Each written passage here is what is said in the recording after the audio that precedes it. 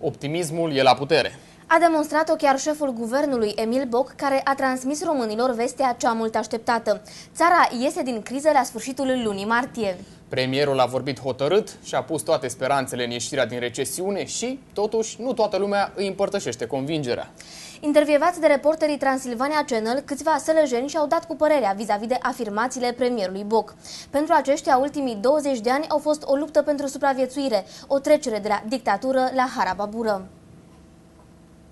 Chiar dacă a avut de înfruntat reticența multor români, premierul nu s-a lăsat bătut și spune că România va ieși din recesiune la sfârșitul primului trimestru al acestui an. Intervievați de reporterii Transilvania Channel, câțiva sălăjeni și-au spus părerea vis-a-vis de afirmațiile primului ministru. Premierul Emil Boc a declarat că până în 31 martie vom ieși din recesiune. Ce părere aveți? Sper că ieșim.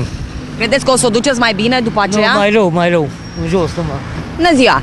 Premierul Emil Boc a declarat că până în 31 martie vom ieși din recesiune. Ce părere aveți?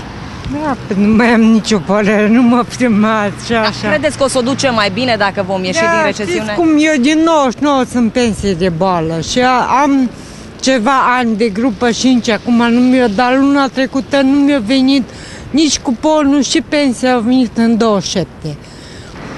Nu mă bag în politică, nu mă da. supărați, nu mă, nu mă interesează. Dar dacă Am vom ieși, credeți că o vom duce mai bine măcar? Cu Emil Boc sau fără, aici mai mare probleme sunt decât să poate ajuta ei. În țara asta nimeni nu, nu poate să afirme așa ceva că s-a dus bine în ultimii 20 de ani, doar unii au dus bine, restul nu prea. Cred că nu ieșim deocamdată. Cum văd eu la ce aud și văd și simt că suntem pensionari și tare greu și tare rău trăim.